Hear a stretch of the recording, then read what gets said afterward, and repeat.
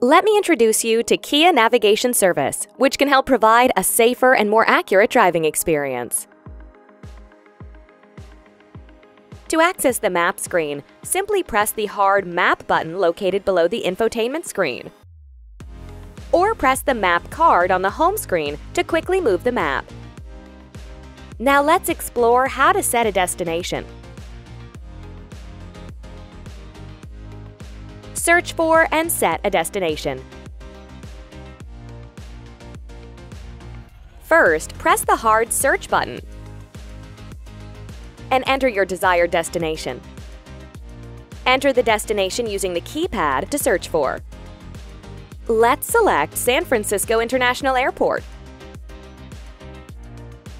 Select Set as Destination at the bottom of the search results. Route suggestions to the selected destination are provided. Choose your preferred route, then press Start Guidance to complete the destination setting process. Wow, that's incredibly convenient! Select Map Settings. Let me show you how to change the map view. Tap the compass icon on the left side of the map screen. This switches the screen to a 3D map view that provides a viewpoint from which you can experience the surroundings, including key buildings. One more thing. If you want to change the color theme of the map, tap the Menu button at the bottom of the screen. Then select Navigation Settings. If you select Map from the Navigation Settings menu, you can adjust the text size used on the map You can also choose a color theme by selecting Daytime Map Color.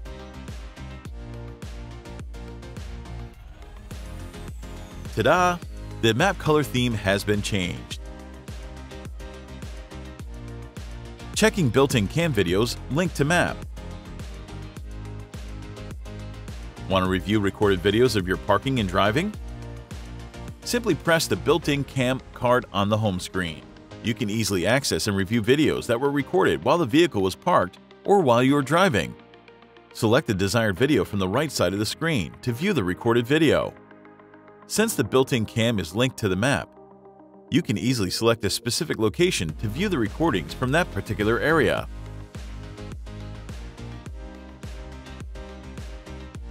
Here's all you need to remember.